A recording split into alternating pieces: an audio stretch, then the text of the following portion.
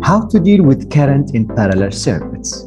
If we have two resistors that are connected in parallel, after closing the switch, a current will come out from the positive terminal of the battery. When we reach point A, the junction A, the current will split out. I1 across R1 and I2 across R2. We can conclude that the main current I equal to I1 plus I2. So law of addition of current in parallel circuit.